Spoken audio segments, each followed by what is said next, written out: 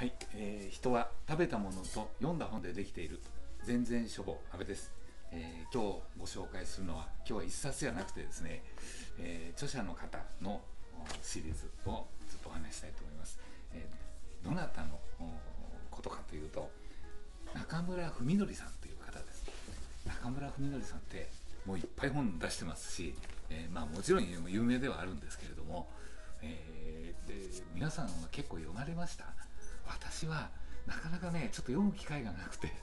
えー読んでなかったんですよ。っていうのは見てくださいこれ。教団 X のこの厚み。R 帝国のこの厚み。逃亡者。それともう文庫になってるのもこう随分あるんですけども。やっぱりなかなかね 読み始めてもこれ大変そうだなという厚さなんでですね私は割とよく読んではいるんですけどちょっとねこれも持ち歩くのも大変だし 読んでなかったんですね。でところがちょっとある機会があってですね中村文則さんのこれ自由思考というエッセイまあエッセイ集として初めてのようですね。いろんなところに投稿されてるエッセイこれをまあまとめて一冊にしたものなんですけどこれを読んでみたんですね、えーまあ、エセイも私大好きなものですから。そしたらですね面白くてこういう人の本はやっぱり小説読まないともったいないなっていうふうに思ったんですが、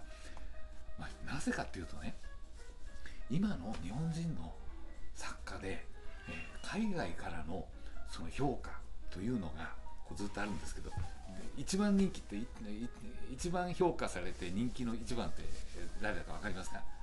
そう村上春樹さんですね。これはもう毎回そのノーベル賞というようなところですから、まあ、日本人の作家って言ったらもう村上春樹っていうふうに言われる部分だろうというふうに思いますが2番目は吉本バナナさんですね。この方も海外ではものすごい人気がある。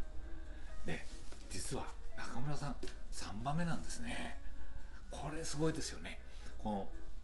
言ってみれば海外のヨーロッパだとかその香港とかそういうところでやるブックパーティー世界中の方のそういうブックパーティーの中でも日本人の中村さんのところにわーっと世界中から人が集まるってそういうようなことのようです。若手なのに海外の評価が今ものすごく高いですよ。だからこうそういうものを知ったらこれちょっと読まないわけにいかないというところから始まりました。エッセイを読んだのとそのことをエッセイの中からも分かったんですがそのことを知ってそれから読み始めました。今、えー何冊かこう、読んで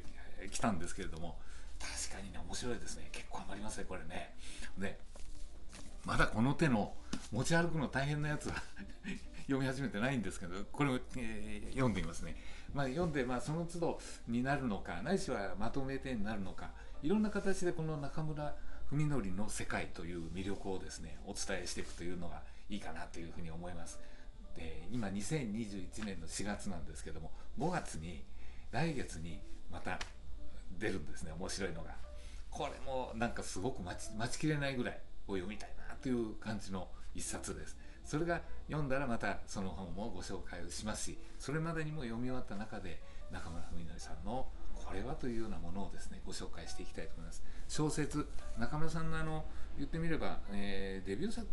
ということになるのかもしれないですね。この「スリ」面白かったですね。なかなか奥が深い。あ面白い一冊でしたこれもいいですね。ぜひまたあのうちでですね中村文則の世界というような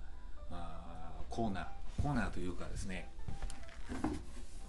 こんなこんな箱を作ってここでそれをご紹介をしていきたいと思います。お楽しみに。是非手に取ってみてください。今日は中村文則さんのご紹介でした。